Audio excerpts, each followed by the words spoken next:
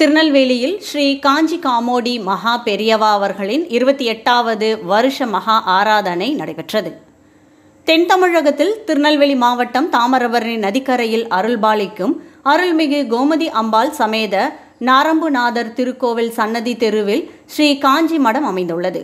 இந்த இல்லமானது மகா பெரியவர் யாத்திரையின் போது தங்கியிருந்து அருள் பாலித்த இடம்.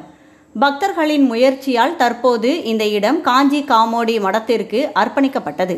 ஸ்ரீ காஞ்சி காமோடி பீடாதிபதி ஜகத்குரு ஸ்ரீ ஸ்ரீ ஸ்ரீ சந்திரசேகர சரஸ்வதி ஸ்ரீ மகா சுவாமிகளின் இருபத்தி எட்டாவது ஆராதனை தினம் இங்கு நடத்தப்பட்டது.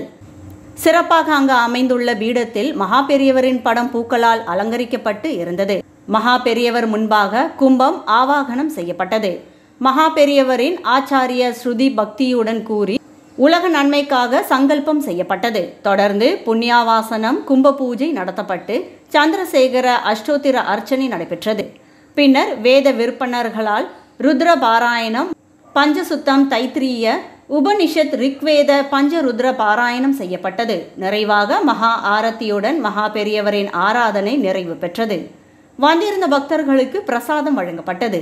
இதற்கான அனைத்து ஏற்பாடுகளையும் ஜெயந்திரா பள்ளி நிர்வாகத்தினர் சிறப்பாக செய்திருந்தனர் श्रोव्याहृदयः सायो वेद स वेद ब्रह्म सर्वे यस्मै देवा भलिमा वहन्ति स एषो